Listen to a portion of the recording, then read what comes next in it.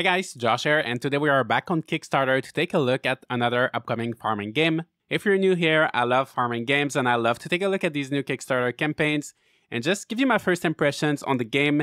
And yeah, so this one is called Sally. It's a cozy life sim game about community and belonging. You can craft, cook, farm, build, and explore to your heart's content in this magical journey of self discovery aboard a giant flying ship. So that sounds like a pretty interesting premise, and they are doing pretty well. There's uh, 28 days left. So this campaign just started about maybe two days ago, and they already got close to $27,000 and their goal is 70,000. So I have no doubt they will reach their goal. So that is good to see. And let's just start by watching the trailer. So right away we see the ship and the ship is called Sally. I thought Sally was going to be a character, but I'm getting big Ghibli vibes from this game and I gotta say, I love it. It looks so good so far. Lots of different colors. It looks very lively and I think we're to be able to do some gardening on this ship. I don't know if there's to be other environments. And it looks like we're to be playing as a kid. It looks like everybody's a kid, maybe in this game. So there's gardening, cooking. I don't know if how I feel about how the characters look. However, I'm sure there's going to be customization. Oh, they're speaking. Oh, are they speaking French? It really sounds like French. I feel like I should be understanding what they're saying, but I'm not. Let me just. I just want to hear one more time what they're saying. Hmm. Okay, I think it's just gibberish, but it sounds. I don't know if you guys have seen these videos where it's like what English sounds like to non English speakers. For me, it feels really similar to that, but in French. I feel like I should be understanding what they're saying, but I'm not. So, anyway, it's just very interesting to hear. But anyway, let's just keep going with the trailer. Yeah, the voiceover is interesting. And looks like there's gonna be some skill trees, forager, little maple leaf. That's nice. I love the little sound effects. So yeah, here's the character creation. Looks like there's gonna be quite a few different options. And I wonder what's the story of this game because everybody's a kid, so I don't know if this is some kind of school. I don't know why are we on this ship. Maybe that's something we'll be able to figure out as we go through the campaign. But yeah, it looks like we will be able to land um, on the land and like go to different places. There's gonna be seasons, I think. We just saw some snow, maybe some bug catching. There's a shepherd with some cute little creatures. And yeah, it just looks like a very cute game. I think we're almost done with the trailer. Yeah, it looks very cute, interesting. Looks like the characters speak French, but not really. You play as kids. And I'm getting big Ghibli vibes. So Sally now on Kickstarter. So let's take a look at the rest of the campaign. And oh, they're actually based in Montreal. So maybe that explains the French influence in the voiceover. Maybe it's just the accents. I'm not sure. But yeah, I'm glad to see that they're based in Montreal. They're Canadian, just like me. And let's go down and read the description of the game. Embark on the Sally, a flying ship crewed by kids and stewarded by two caring grandmas.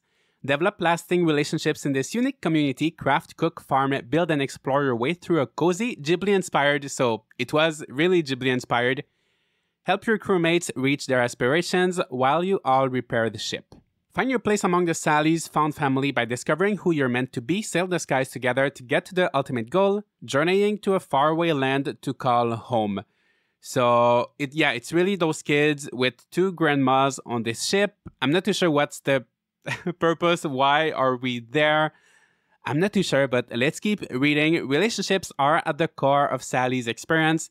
Build lasting relationships with your crew. The characters are different in every game you play. Oh, that's nice. Each of your crewmates has their own life, vibrant with emotions, tastes, interests, and even monsters. So it looks like the characters will be somewhat random from one playthrough to another. And you can see there's quite a big variety in terms of like skin colors and also like body shapes. Uh, there's like bigger kids, smaller kids. So that's interesting to see. Your time spent together on the Sally influences your crewmates' reactions and moods, develop bonds like friendships and rivalries. While getting to know everyone's unique personality and aspirations, watch new connections form aboard the ship as your crewmates navigate their own relationships. So it looks like there's going to be quite a big focus on friendships because that's the very first thing they talk about in the campaign. So I think that's going to be a big part of the game. Every step of the way, the caring grandmas Alice and Beatrix will be there to guide you through your journey. Alice's knowledge of constellations and magic is unmatched. It gave life to the Sally, one of her greatest achievements. This soft spoken astronomer is a force to be reckoned with. Always available to resolve conflicts amongst the crew, this charming negotiator otherwise loves to spend her time stargazing. And then we've got Beatrix, and she's all about hard work. Her creative mind and building skills were paramount in the creation of the Sally, which she gladly undertook with Alice. Beatrix is always happy to share her expertise with her young crew. As bluntly honest as she is caring, this strong protector loves to tease the people she cherishes the most. So it looks like the personalities of these two characters will complement each other pretty well. One of them is more soft spoken, the other one is more blunt. So I'm looking forward to seeing how the dialogue is in this game and how they interact with the kids. Next, we learn a little bit more about the actual gameplay features. So there's craft, cook, farm, and build. Nothing new, but let's see if they manage to do something different. So first is farming, you can grow your own food, lots of vegetables and fruits will be available in game. Experiment with them all to cook fun recipes for your crew.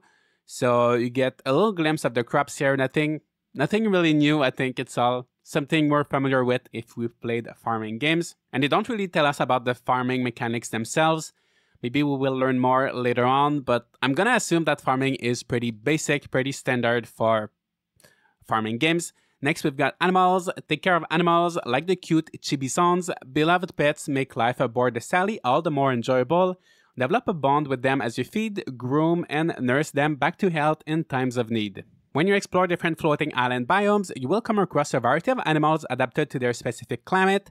Interact with the local wildlife whilst respecting their wild nature. So I think this is interesting the idea of taking care of wildlife instead of just adopting the animals like we're used to in farming games. So there's bear, cow, moose, heron. So I'm seeing lots of Canadian animals here and animals that we don't usually see in farming games. So that's good to see. And duck, chicken, snowy owl, and hedgehog. So I like to see this variety of animals. That's pretty cool. Most animals will drop important resources as the seasons change. Deer lose their antlers in winter. Seasonal birds will drop the occasional feather. Hedgehogs shed some quills, craft with these precious resources, and help animals thrive. Next, we've got gathering. The different island biomes are full of resources to gather flowers and medicinal herbs, magic gems, mushroom fruits. Visit a biome in an appropriate season to gather the resources you need for crafts, gifts, and quests. So, there will be seasons in this game, and as you can see, there's going to be lots of different flowers, mushrooms, and other forageables. So, once again, nothing really new here. Next, we're gonna get to repair and customize the Sally. Make the Sally your own. This good old ship needs all the help it can get and it's up to you and your dedicated crew to improve it. Acquire parts from merchants, repair the sails, give it a new look with a fresh coat of paint, craft buildings and farm space on its deck. With your help, the Sally will be ready to explore never seen before destinations. So it looks like we're gonna have quite a lot of freedom in terms of customization. So looks like you can place things pretty much wherever you'd like. And I like this idea of having a home that you can move from biome to biome, island to island.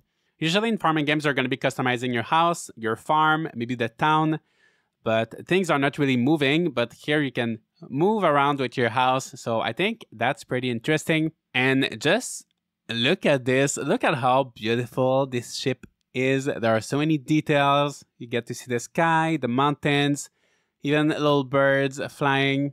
As you explore a rich new world, the sky is filled with floating islands awaiting to be discovered. These ecosystems have different seasons, resources, animals, and inhabitants. Journey through ever changing landscapes and explore to your heart's content. There's a solace to be found in every task and no time limit. Experience the beauty of Sally's world at your own pace.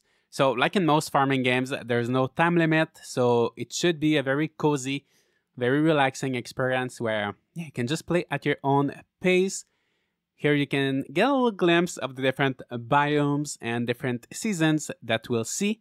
Find your path as you search for who you want to be. so will the rest of your crew. It will take a village to lead the Sally to its final destination, and to do so, everyone aboard the ship will have to achieve their specific aspirations. Help your crewmates hone their craft and watch them grow to their full potential. So, if I understood correctly, I think your character is not going to be the only one who has this skill tree, and pretty much everybody on the crew will be able to get skills and get better in specific field.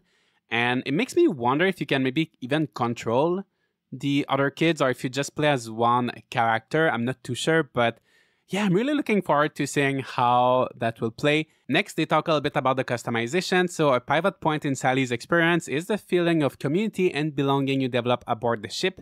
Many customization elements will be put in place so you can truly recognize yourself in your character. They include body type, facial features, skin color, hair color and style, eye color, and pronouns. You'll also have access to a wide array of clothes and accessories to make your own style shine through.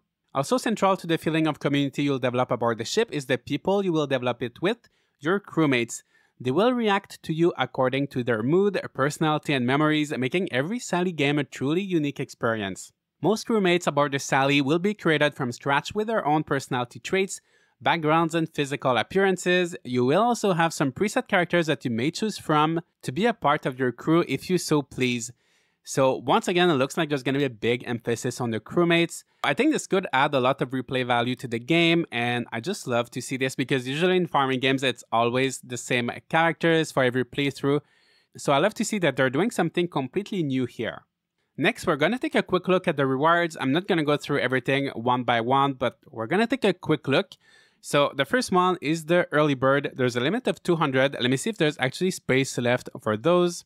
There's actually two early birds left. So by the time I upload this video, maybe there's not going to be any, but that's $20. You get the game when it releases, a Discord title, and HD wallpapers pack for $5 off. Next, we've got the passenger tier, and that's pretty much the same thing, but you don't get the early bird discount. For $35, you can get the Early Bird Crewmate tier, which will give you access to the same rewards as the previous one, but you will also get to play the game during the alpha, and there are about 100 spots left for this one.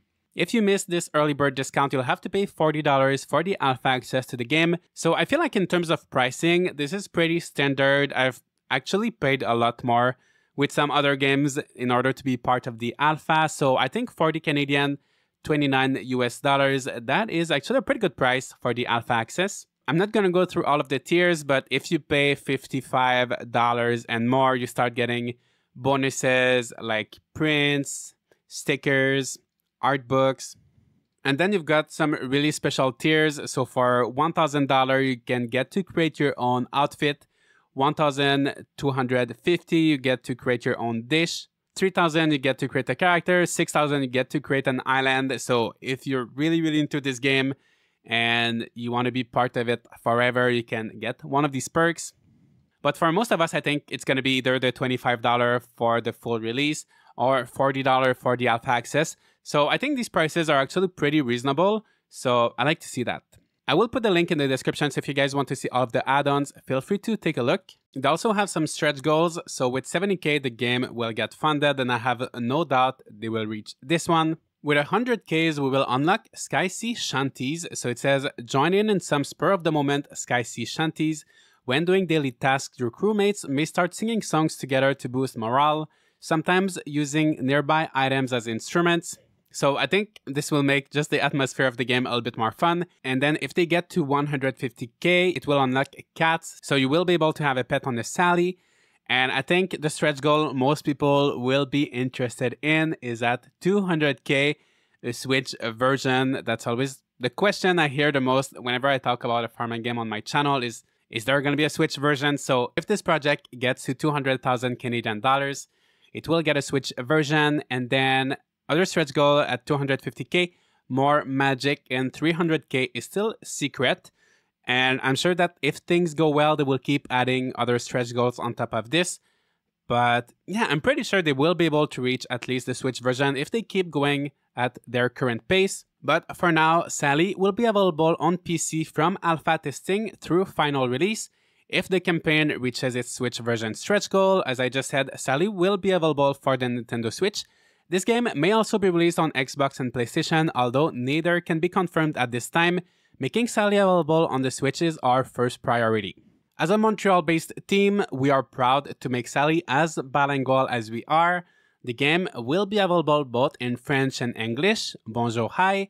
Since Sally's game core mechanics rely heavily on characters reacting in a wide array of ways, the amount of possible interactions in the game surpasses the scope of usual life simulator. This unfortunately means that translating Sally is an enormous workload. At this point in time, we cannot guarantee that we will have the resources to translate the game in additional languages. However, we would love to make Sally accessible to a wider array of players. Rest assured that more languages will be added during development if it is a realistic option. I like to see that they're really honest and upfront here in a lot of these Kickstarter campaigns. Developers are promising like 8 to 10 different languages, and I know that translation is a lot of work. And when your budget is limited, it's not always realistic to translate in so many languages. So I like to see that they're really going to focus on the quality and make sure that the character interactions are good in French and in English. And then after that, if everything goes well, they will be able to translate it in more languages. But yeah, I like to see that they're kind of trying to stay realistic and very honest here. Next, we get to see their team, and it looks like there's six people working on the game right now. Lucid Tales is a Montreal based, worker owned studio devoted to bringing positive social impact to the industry. We focus on creating innovative experiences with an inclusive, educational approach to game making, our cooperative mindset ensures we're using our diverse array of expertise to the fullest, making our humble team of passionate talents a small force to be reckoned with. Every member of Lucid Tales is sincerely excited to shape this project into a unique game you will love to play. So, very nice description, looks like a lovely team. I would have loved to see maybe projects that they've worked on in the past or maybe what their roles are. So we know they have six people but I would have loved to see what is Eva doing. Is she an artist? Is she a programmer? What is Louis? What is Emil doing? I would have loved to see their roles and like maybe how many years of experience they have, just to give me a little bit more confidence into backing this project. But nonetheless, it looks like a cool team just from the description, and I love to see the little illustrations. And next, we've got collaborators, and I think I'm a bit speechless. I think I've been to high school with this guy, or if it's not him, he looks very similar and has the same name, same hairstyle, same eye colors, same hair color, same everything. It's either like a big coincidence, and I'm like, oh my gosh, it's such a small world, or maybe he's just a look-alike. But I've got so many things flowing through my brain right now, and I am a little bit confused. But anyway, uh, so they have three collaborators. I'm not too sure of their roles.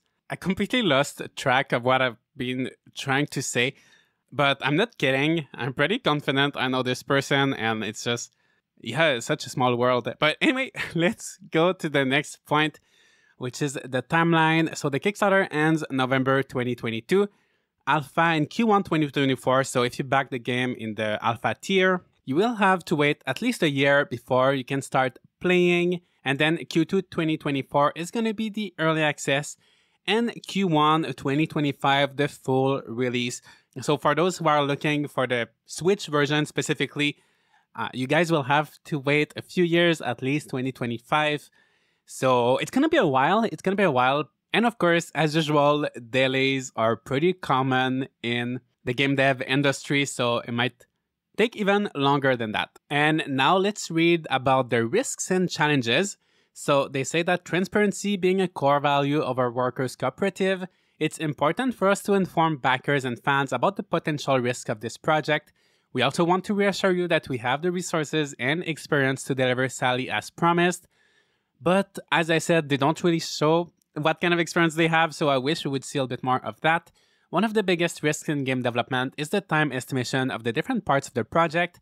With the experience we have accumulated developing prototypes and finished products for various video game studios, we are confident in our ability to tackle this challenge. Our plan is to maintain a steady flow of communication with the community regarding any delays that might happen throughout the development. The success of the Kickstarter campaign will not only enable us to focus all of our effort into delivering the best experience Sally can be, but it will also be leveraged as proof of interest from the community for potential additional financing. Again, the nature of the cooperative ensures that all the funds go towards creating a sustainable work environment for Lucid Tales members, and thus allowing us to craft better games in a healthy way. It's also important for us to inform early backers and fans that some aspects of the design or art are subject to change throughout the iteration process. We assure you that the core vision of the game will stay the same, but some elements may differ from what you see in the early stages of development. And that is pretty much it. So before we wrap up, I just want to take a look at Lucid Tales website and see if maybe we can learn a little bit more about their team. Welcome to Lucid Tales, a Montreal-based worker-owned game studio.